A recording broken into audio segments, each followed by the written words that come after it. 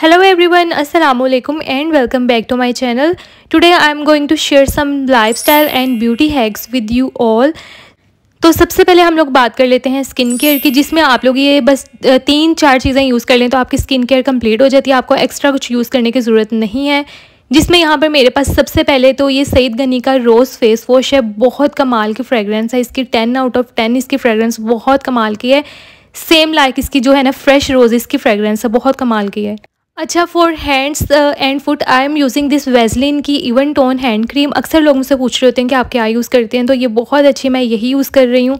Then मेरे पास यहाँ पर ये लोशन है, ये है पॉम्स का, बहुत कमाल के इनके लोशंस हैं और प्लस बहुत अच्छे हैं अफोर्डेबल हैं और इनकी फ्रेगरेंस भी बहुत कमाल की है।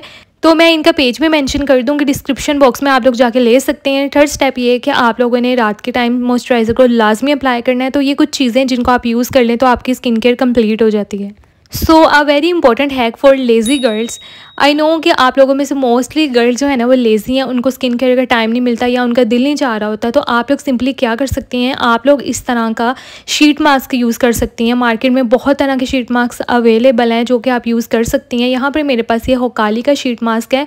इसमें काफ़ी अच्छी जो है ना प्रॉपर्टीज़ ऊपर मेंशन की गई हैं, जैसे कि मॉइस्चराइजिंग का काम देता है वाइटनिंग का काम देता है, साथ में आपकी स्किन को सिल्की सॉफ्ट कर देता है, इसमें प्रोटीन भी है। तो आप लोग इस तरह के शीट मास्क यूज़ कर लें। देन मेरे पास यहाँ पर एक बहुत मज़े की चीज़ है।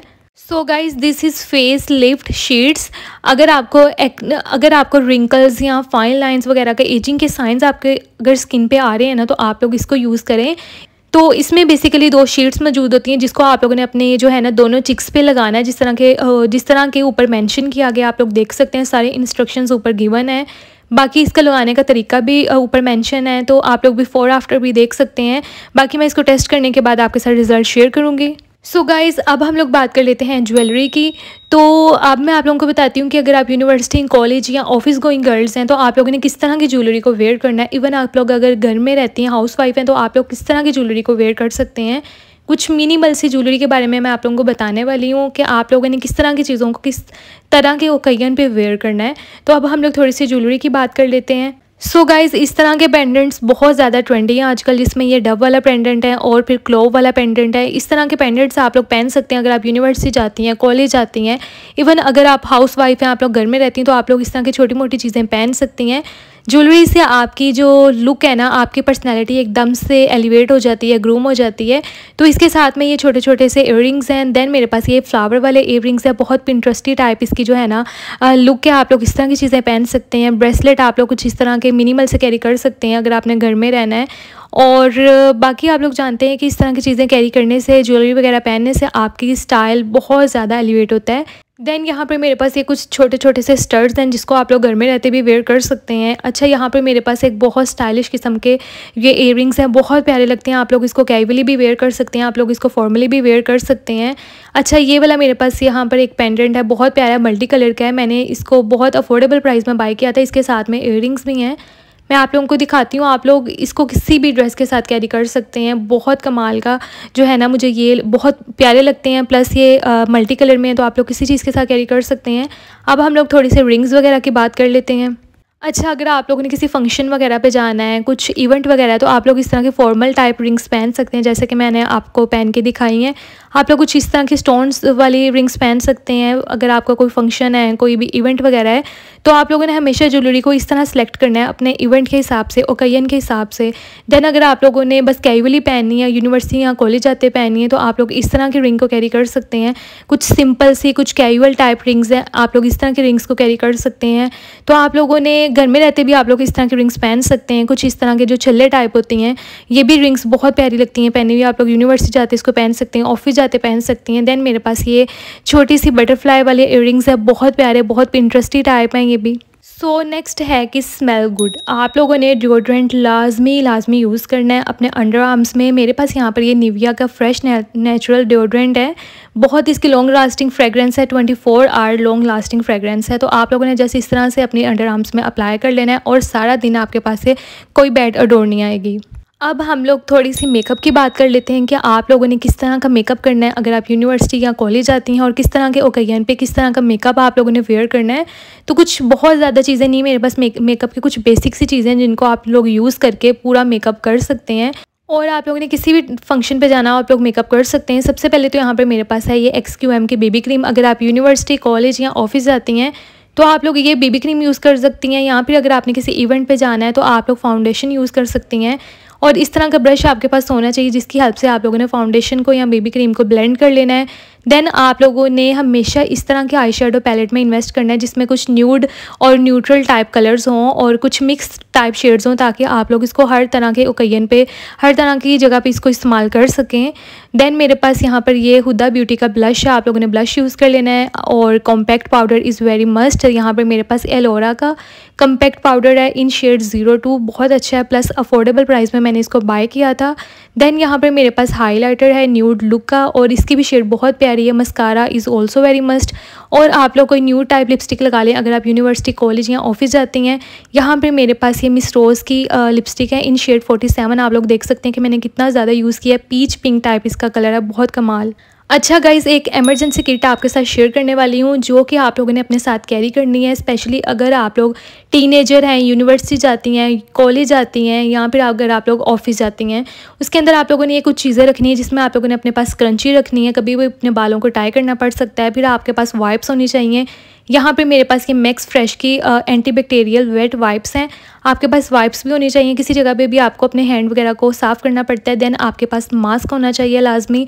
आप लोगों ने इस तरह की एमरजेंसी किट बना के रख लेनी है और इसको अपने बैग में कैरी करना है। देन आप लोगों ने अपने साथ लोशन भी रखना है, अपने हैंड्स वगैरह को मॉइस्चराइज़ करने के लिए। एक छोटा सा आपके पास मिरर होना चाहिए। बहुत मस्ट है। देन आपके पास हैंड सैनिटाइज़र होना चाहिए। किसी जगह पे भी आपको इस्तेमाल करना पड़ सकता है। और कॉन्टैक्ट लेंस की आपके पास किट होनी चाहिए। कहीं भी आपको रिमूव करने पड़ सकते हैं लेंस देन आपके पास टिंट होना चाहिए।